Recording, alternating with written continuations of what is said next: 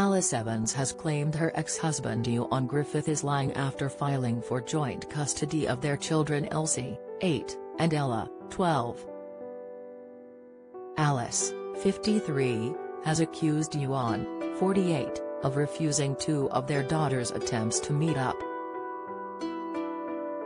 According to Alice, one of their daughters asked to see Ioan on a trip to Universal Studios, but he refused on the basis that his girlfriend, 29-year-old Bianca Wallace, wouldn't be able to. She suffers from MS, and he is said to have insisted she stays out of crowded places after beginning a new medication. Alice also claimed Ioan refused to take one of the girls to a concert when she asked.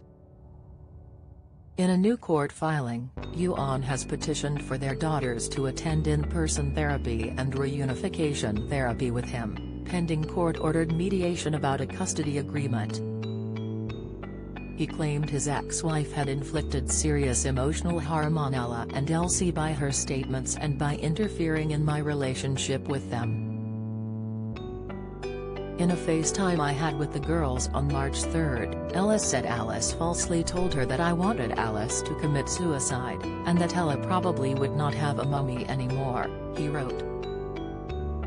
Ella told me, Daddy, this is making me very sad, and, if I don't agree with her, apparently I am a bad daughter. To this day, Alice continues to post false and misleading statements about me on social media. Alice has stated repeatedly that I want nothing to do with the girls, I refuse to see them and I abandoned them. Alice posted she fears she and the children would starve and become homeless because I refuse to contribute to their financial support.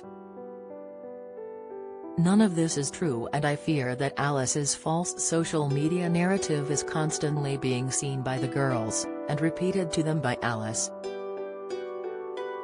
Sobbing, Alice filmed the court documents in a video on her Instagram account. I've just started to read this declaration from Ioan. It is utterly disgusting and absolutely packed with lies, saying that he was the major caregiver and that I would get up at 11 a.m. and drink, she said. That's just not true, just absolutely not true. I've looked after these girls every day of their lives since they were born.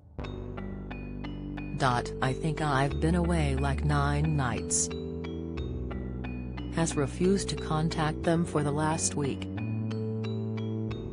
He met somebody else and he left us, that's the truth. I just have to go on here and say that you can't say these things about people. I know so much about him and I would not say this. Captioning the post, she added, by the way, I have been 50 to 80% bedbound with fibro for the past 13 years. He would say to me over and over when I told him I was sorry I couldn't come to an event I didn't sign up for this. I didn't sign up for life with a chronically sick person. Express